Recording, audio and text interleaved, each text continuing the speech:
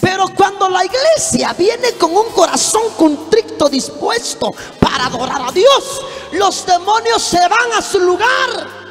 Los demonios se van hasta la profundidad donde tienen que estar en el abismo. Ahí tienen que estar ellos. ¿Cuánto dicen amén? Va. ¿Por qué decimos que hay poder en la alabanza? Porque la, porque la alabanza causa, número uno que dije, liberación. Y nos da la victoria contra los demonios. Tenemos el ejemplo, voy rápido. Tenemos el ejemplo de, de Saúl. ¿Quién era Saúl? Saúl era, era, era, era un ungido como rey. Era un gran hombre en aquella época. Saúl tenía o sea, estaba en un palacio. Pero ¿sabe cuál fue el problema de Saúl? Que cuando Dios lo eligió, Saúl empezó bien, pero terminó mal. Usted conoce la historia, no, no, no hizo lo recto, no hizo lo que Dios eh, quiso que hiciera. Entonces eh, vino el Espíritu de Dios y apartó de Saúl. Están aquí. El Señor lo desechó como rey. O sea que el Espíritu, el Espíritu Santo, a consecuencia de la, de la desobediencia del rey Saúl, lo abandonó. Oiga, y le permitió a que un espíritu inmundo, un espíritu malo de tormento, viniese a atormentar al rey Saúl. ¿Me está entendiendo? Saúl por no hacer la voluntad de Dios, Saúl por no obedecer la voz de Dios, por empezar bien y terminar mal, el Espíritu Santo se apartó de él. Por eso hay que tener mucho cuidado. No dejemos que el Espíritu Santo se aparte de nosotros, nos abandone por la desobediencia, porque esa es la consecuencia. Entonces viene Dios, le permite al diablo, al enemigo, al adversario y le dice, anda a atormentarlo. Anda a atormentarlo y hacerle la vida imposible perturbarlo de noche. Hacer lo que querés con él, hacelo. Y vinieron, oiga, oiga, vino un espíritu y empezó a atormentar a Saúl, al rey Saúl con voces acusándole. Era un demonio. Lo empezó a, a perturbar, a acusar y, y a atormentarlo. A raíz de eso, ya no hallaban, ya no le hallaban salida, solución. Los trabajadores del rey decían, ¿qué vamos a hacer con el rey? Está sufriendo. ¿Qué vamos a hacer con el rey Saúl? Está siendo atormentado. Aunque fueron a traer al mejor brujo, hechicero, doctor, espiritista, quien sea. Nadie podía liberar a Saúl, nadie. Nadie podía quitar a ese demonio tras de Saúl. Entonces ellos empezaron a preocuparse, empezaron a, a, a, preocuparse y a decir, ¿qué vamos a hacer con el rey Saúl? Pero mire cómo fue esto.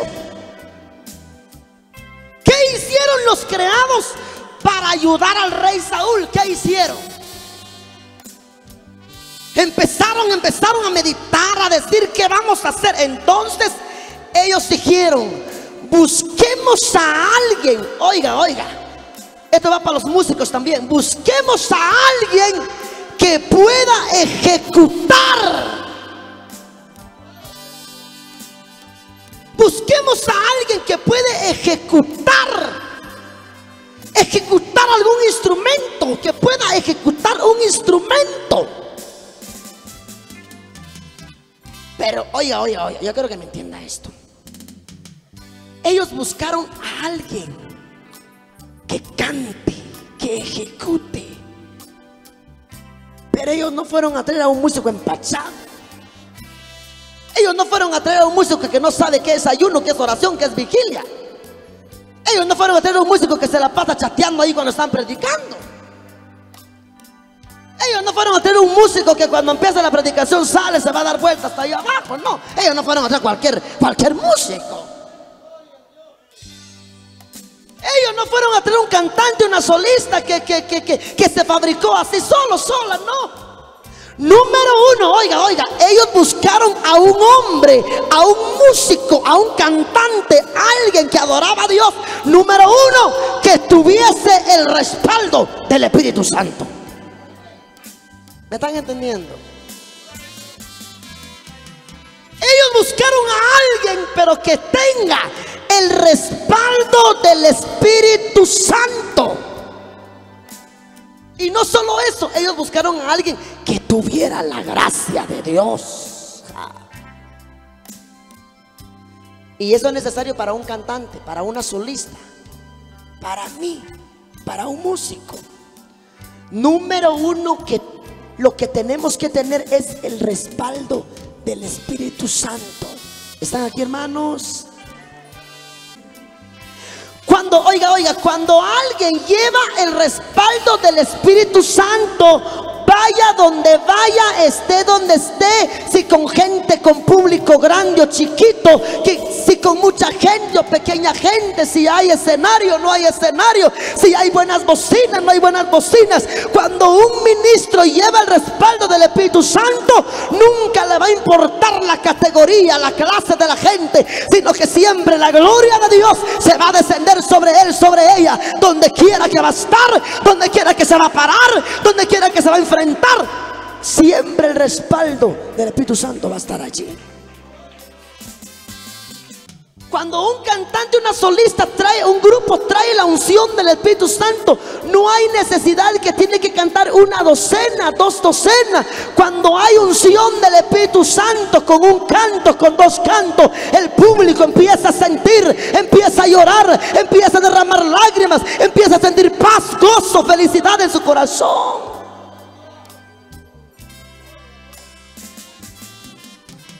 fueron a buscar a un hombre. Fueron a traer a David.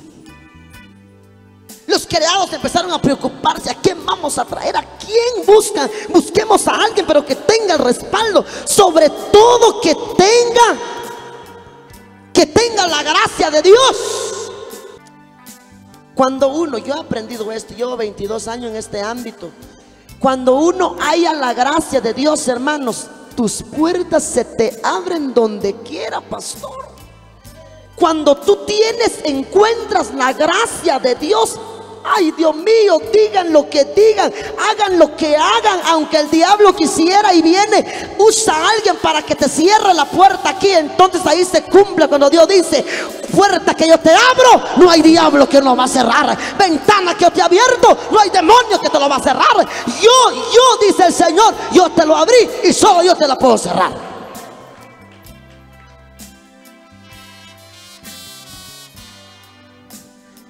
Tuviera la gracia de Dios. ¿Y cuál es, cuál es, qué más es la gracia de Dios? Oiga, estas son las cualidades que todo músico o ministro, cantante, solista de alabanza debe de tener. ¿Cuáles son las cualidades? Yo quiero que me entienda esto.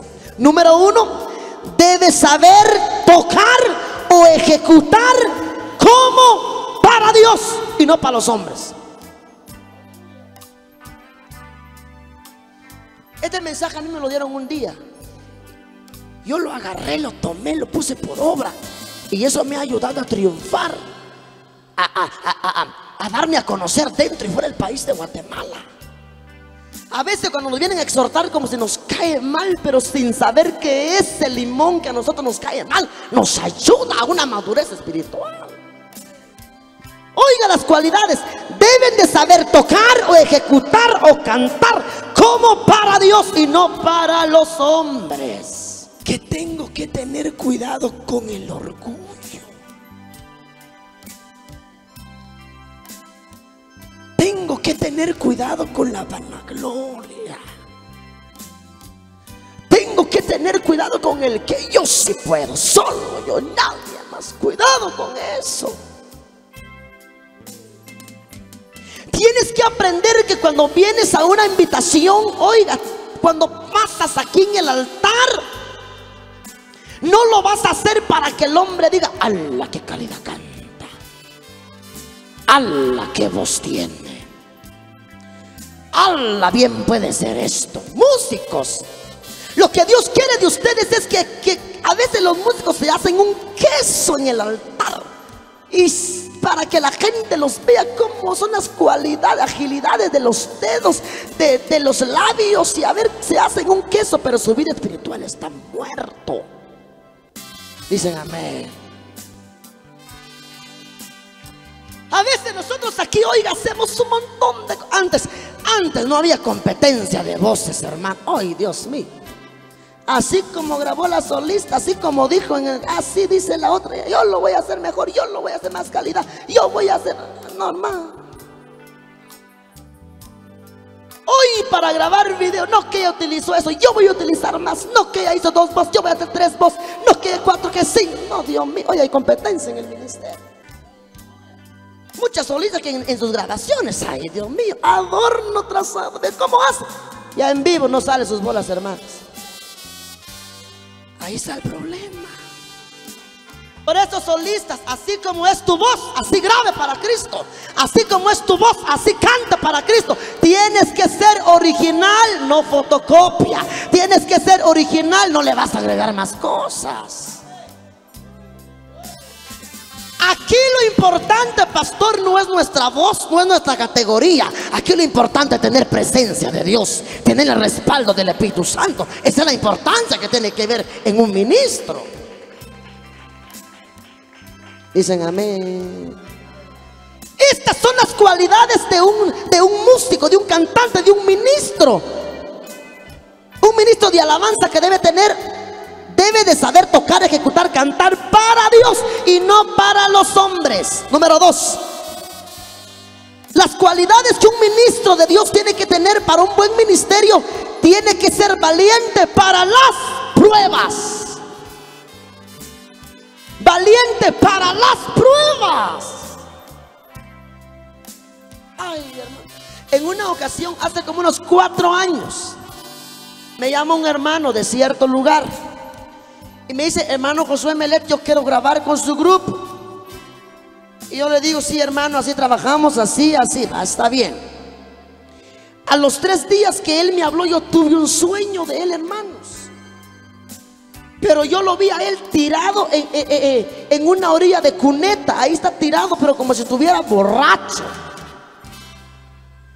Y le dije yo al hermano, hermano, pero usted, usted desde hace cuándo canta, desde hace cuándo tiene su ministerio. Y me dice, yo de chiquito eh, empecé a cantar, soy evangélico, sirvo a Dios, tengo esposa, tengo dos hijos. Ah, qué bueno. Hermano, ¿por qué no busque un poco más de Dios? Sometes en ayuno, oración, vigilia y démosle un poco más de tiempo. Y pasan unos cuatro o cinco meses, entonces ahí sí fechamos su grabación, Va a ensayar, solo un ensayo estamos nosotros y mañana la grabación. Ay, hermano, o sea, usted, o sea que usted no quiere, usted es envidioso. Solo usted quiere cantar, solo usted quiere eh, recorrer Guatemala, no quieren que otro se levante. Y empezó ahí con su sermón. entonces yo le dije, no, es que es por un sueño que yo tuve, pero si usted no quiere, no quiere esperar, grave hermano. Ahí está el grupo disponible, yo voy a fechar su fecha, viene a ensayar, va a ir a grabar y y, va a salir su CD. Y dijo, sí, está bien que yo lo voy a hacer porque yo siento de Dios. Y empezó, está bien, pagó su grabación, salió su grabación. A los cuatro meses le vino la primera lucha que tal vez él no sabía. Vino el primer problema matrimonial, dice, matrimonial. Discutieron con su esposa y su esposa le cacheteó la cara. No sé cuántas cachetadas le dio, pero por esas cachetadas abandonó su ministerio, dejó su ministerio, empezó a tomar y solo se quedó la primera grabación de vergüenza. Ahí está el problema. Porque a través de un CD usted está predicando el evangelio. A través de un disco usted está hablando del evangelio. Y ahora el diablo se, se va a levantar, o ya se levantó, se ha levantado. Y le va a poner cuantas cosas en el camino. Le va a poner tentaciones. Le va a poner eh, cuantas mujeres, hasta solistas. Y cuántas cosas le va a poner en su camino para con, tal de que caiga. Le va a poner problema familiar. Le va a poner hasta enfermedades. Y cuando él se va a dar cuenta que es estar en un ministerio, él tiene que ser valiente. Porque los valientes van a arrebatar el reino de los cielos. Los valientes van a llegar a la meta final.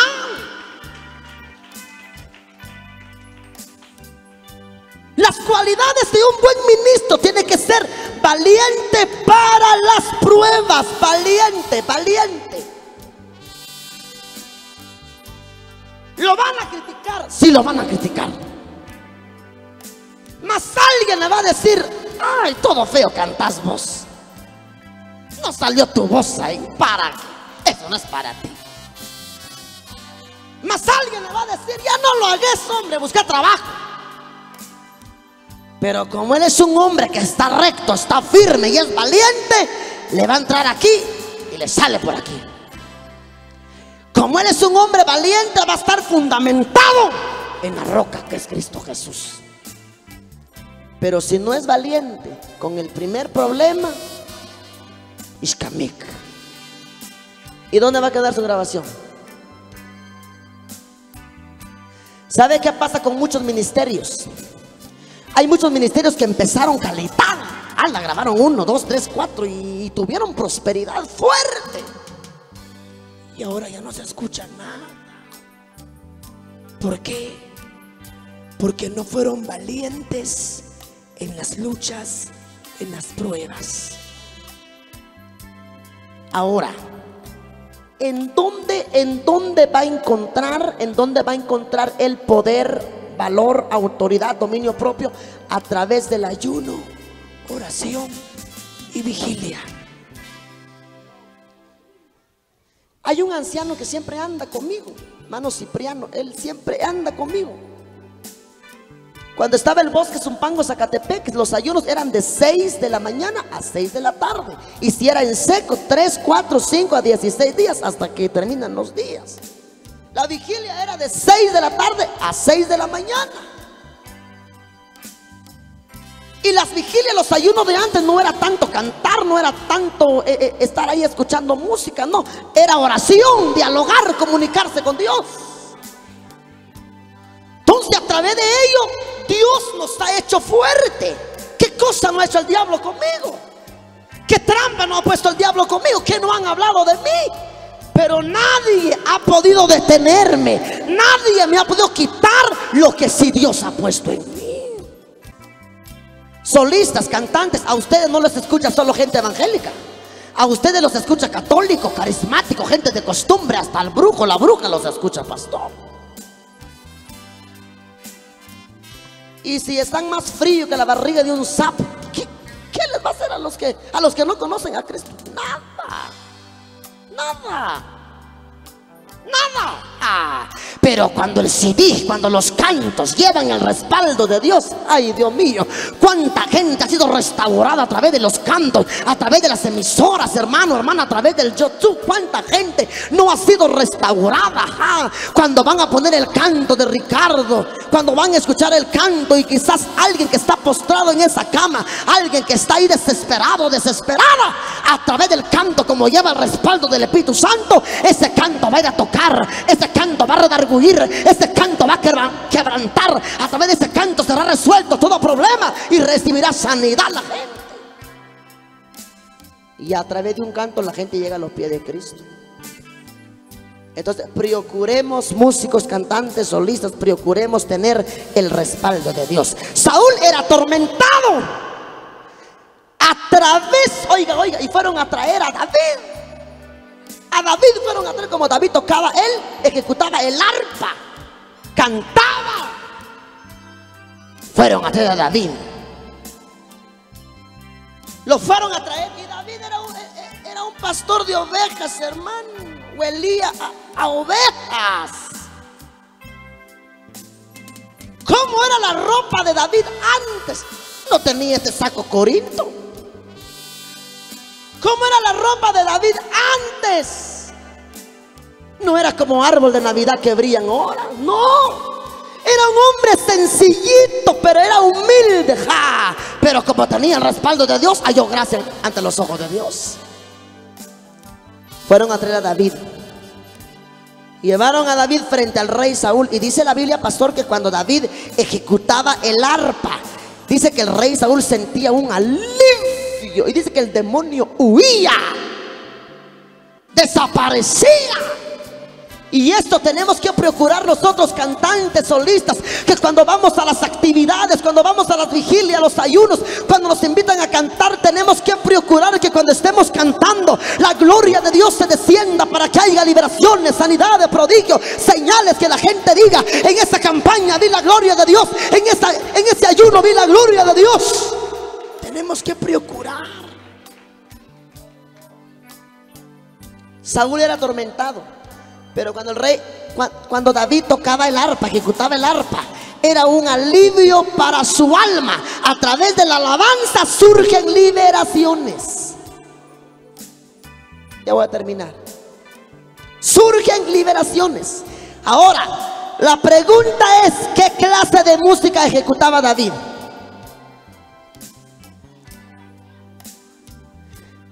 Clase de música ejecutaba David? ¿Por qué los demonios se huían.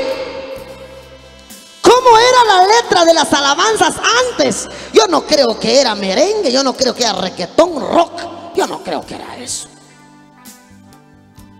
Yo no creo que son las paradas que hoy los grupos hacen o el acompañamiento que hacen. Yo no creo que era eso antes. Yo estoy seguro, pastor, que antes era puro algo espiritual. Y por eso los demonios se huían, se iban.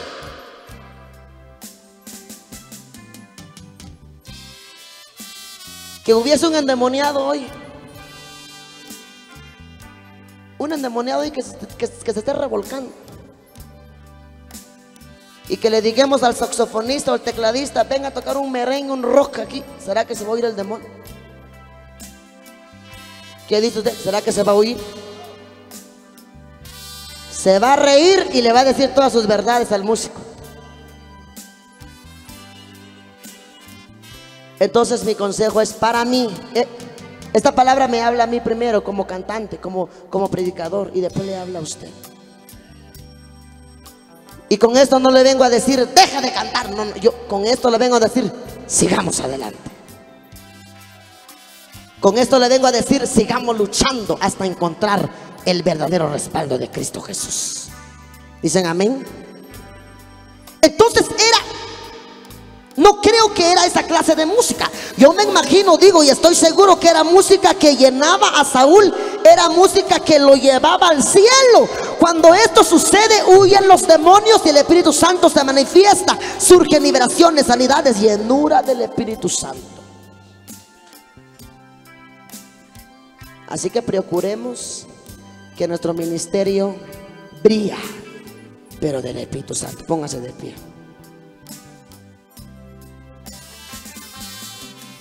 Yo animo a los cantantes, a las solistas, ministerio de alabanza, pero procuremos buscar el respaldo del Espíritu Santo.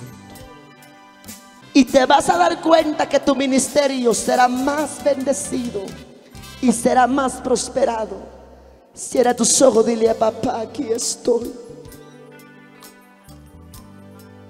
Tú que tienes un ministerio, dígale, Señor, yo quiero tener respaldo de tu Espíritu Santo. Señor, yo quiero, Señor, quiero ser lleno de tu Espíritu Santo. Dile a papá, Señor, yo quiero hacer esto para ti.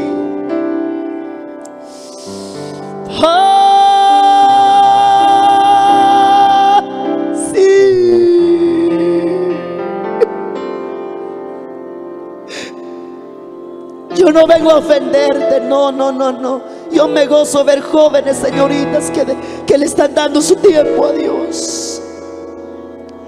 Yo no quiero ver jóvenes tirados en el mundo, no, yo quiero ver jóvenes ejecutando, cantando, predicando que lo haga bien hecho para Dios. Que su vida espiritual esté lleno del Espíritu Santo.